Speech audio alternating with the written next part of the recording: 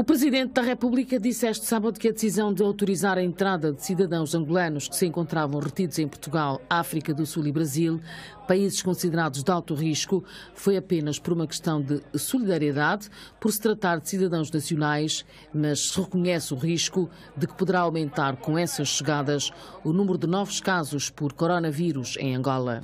Autorizamos a entrada de cidadãos angolanos que se encontravam até em países de risco, cidadãos angolanos estavam em Lisboa, no Porto, em Cape Town, Joanesburgo, na cidade de São Paulo, no Brasil, por serem nacionais e porque tinham o bilhete de regresso praticamente em cima do momento em que saiu o decreto legislativo presidencial, eh, o país entendeu que deveria enviar aeronaves à sua busca e fizemos, sabendo que corremos o risco de entre eles poder haver um ou outro que, que estivesse infectado e, portanto, o risco de contaminação.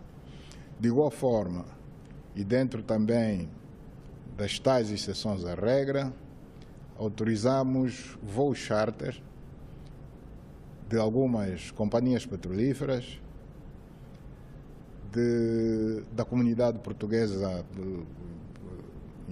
empresarial, empresarial residente em Angola, eh, para virem buscar cidadãos seus.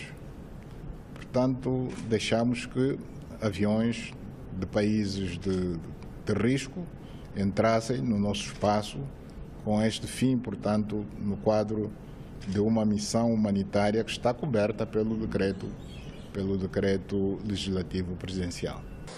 Desdramatiza a polémica à volta da sua viagem à Vinduque e diz que o decreto legislativo presidencial também prevê exceções que podem admitir viagens de um membro do governo ou até do titular do poder executivo fora do país. Quando assinamos o decreto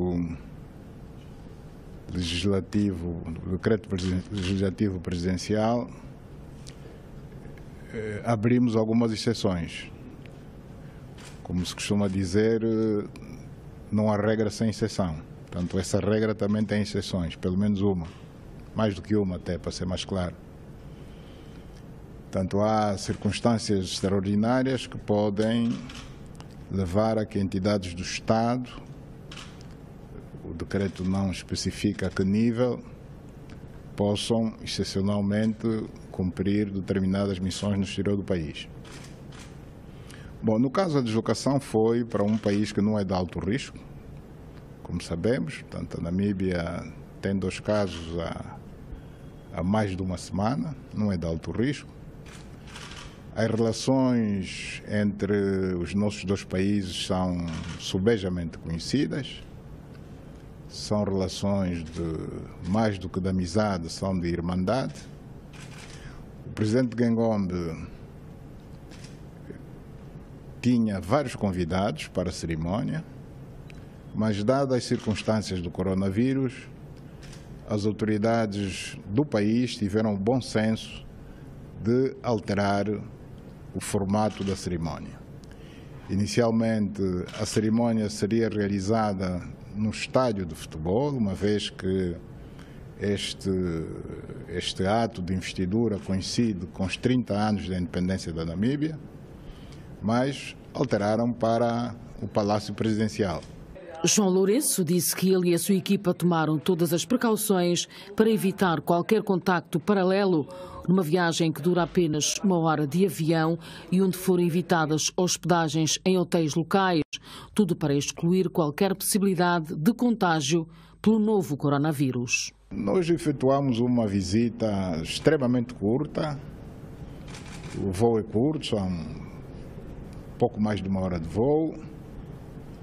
Não ficamos instalados em nenhum hotel. Ficamos no Palácio Presidencial o tempo estritamente coincidente com, com o período de duração da cerimônia.